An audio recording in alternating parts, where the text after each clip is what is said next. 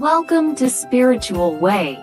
Generally, I think that human beings suffer because of um, a lack of nourishment uh, of various different needs, right? So the human being has psychological needs, emotional needs, but also spiritual needs. And when, when any of these needs are not met, the human will suffer. So, for example, our most essential need are our spiritual needs, our connection with God. That is our spiritual oxygen, if you will. When a person doesn't have that uh, in their life, is not or it's not sufficient. It's just very simple equation, just like a, a body that is um, deprived of oxygen or low on oxygen or not having enough. Uh, they'll they'll suffer. The body will suffer. So the human being will also suffer if the spiritual oxygen is not sufficient meaning our relationship with God, um, you know, and, and, and in particular, the remembrance of Allah, dhikr.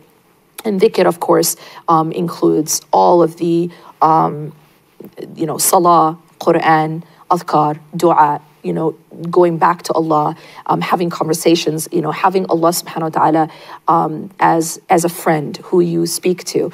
All of that, that is all part of the remembrance. Without the remembrance of Allah, it's um, the, the, the, the, the heart becomes deprived and just like the body becomes deprived if it's if it's missing oxygen.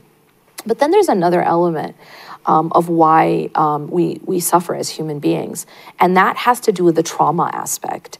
And I think that one thing I've observed about our community as Muslims is that we have um, a very high level of generational trauma. Um, meaning that uh, we, we've, we've been through a lot.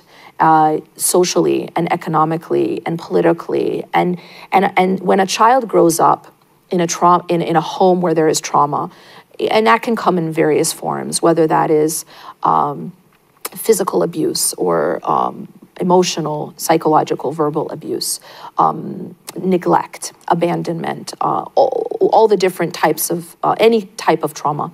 And that child grows up in that environment.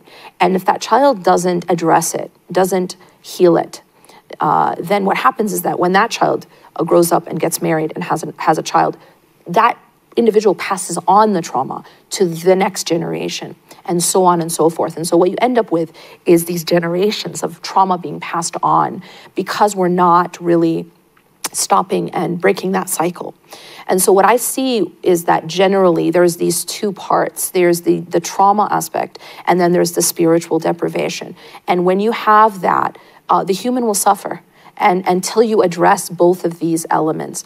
Now, with regards to the Muslim community, you, you touched upon something I think is very important, which is that there's a lot of sometimes focus on the external rituals.